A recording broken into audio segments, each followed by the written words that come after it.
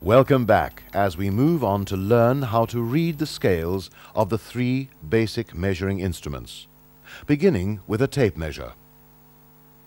Tape measures are used as a quick and easy method of measuring, especially on long distances such as flooring or where machinery is being installed. The tape itself is usually made of thin, springy metal and is able to be pulled out and locked to stop it being pulled back into its case by its return spring action. Most tape measures are marked with numbers that are given in centimeters. Between the centimeter marks are unnumbered millimeter divisions. Measurements begin at the end of the tape on this metal hook, and the first centimeter is hidden behind the hook support. However, the millimeters can still be seen. The hook can be placed over the end of whatever we want to measure, and the tape pulled out until it reaches the other end of our work. We read the measurement by keeping our eye directly above the end of the workpiece. We then note which line on the tape lines up to the end of the workpiece, and that is the reading. In our example, the reading is 45 centimeters plus 1, 2 millimeters. We could say that our workpiece is 45 centimeters and 2 millimeters long, but that's not really good engineering language. It's better to say that our workpiece is 452 millimeters long, which is made up by saying that 45 centimeters is the same as 450 millimeters plus 2 millimeters. Have you noticed that one of the unnumbered millimeter lines between every centimeter mark is a little bit longer than the shortest lines? Well, this is done so that you can see every fifth millimeter more easily. Let's go back to our old friend, the matchbox. Using our tape measure, we see a reading of 5 centimeters plus 2 millimeters. What should we say the reading is in millimeters? That's correct if you said 52 millimeters. Let's next learn how to read the meter folding rule. You'll notice that both sides of the rule are marked off and, as we saw earlier, the markings, or numbers, are given in millimeters. The rule is marked in 100 millimeter main divisions 100, 200, 300, 400 and so on.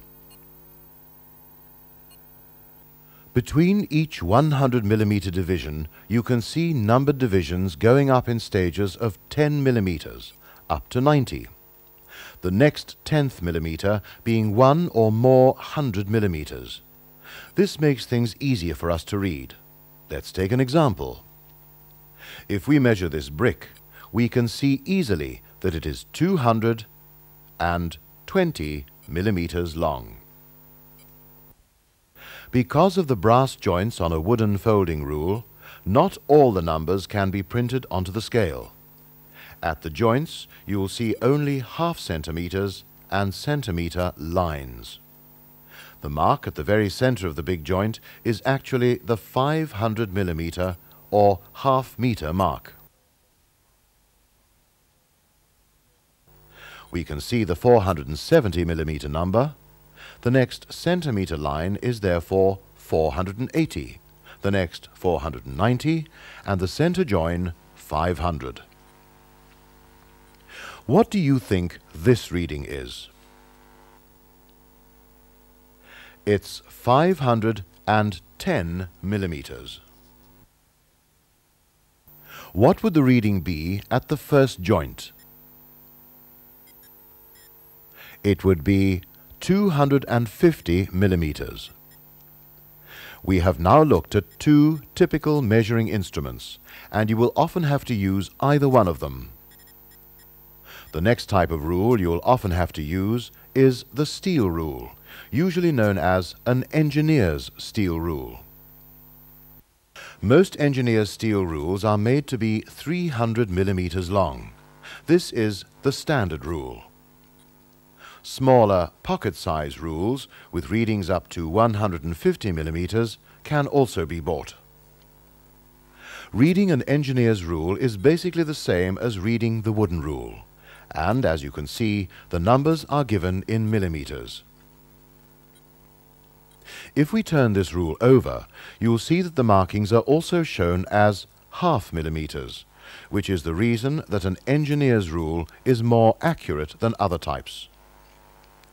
Some makes of engineer's rules show millimeters and half millimeters on the same face such as this type. Returning to our rule, on the millimeter scale we can read the figures 10 up to 290. The very edge of the rule, nearest to the figure 10, is the naught or zero position. We always begin our readings at the end edge. You will have noticed that in our example there are two scales and two straight ends. This design allows us to use the rule either way up.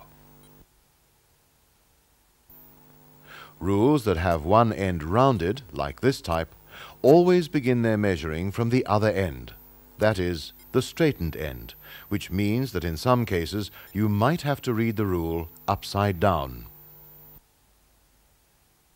As in other rules, you'll see that every fifth millimeter line is made a little longer than the other millimeter lines. For example, this reading is 25 millimeters. And this reading is 115 millimeters. What is this reading?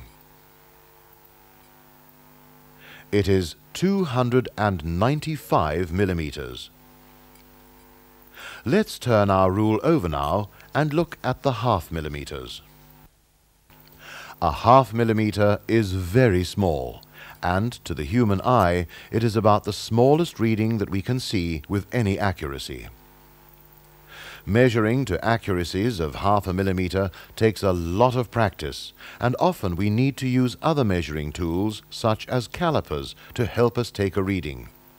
We shall be covering these tools in a later program in this series. Let's look at our scale through a magnifying glass so that we can see more clearly the half millimeter division. Can you see that we now have 20 divisions between each centimeter? This is because each millimeter has been divided in two to make the half millimeter division line. If we take a reading at this position, for example, it will be 10 and a half millimeters, or in engineering language, 10,5 millimeters. Have you noticed that the half millimeter lines are shorter than the full millimeter lines? Again, this is to help you see the readings more easily. As you begin to work more and more with measuring instruments, you will become more skilled in reading them. In a later program, we shall be showing you how to apply measuring instruments to various types of work. Stop the tape now and ask your instructor to help you with practical exercises and do the simple test. You can learn more basic engineering skills by watching more programs in this series.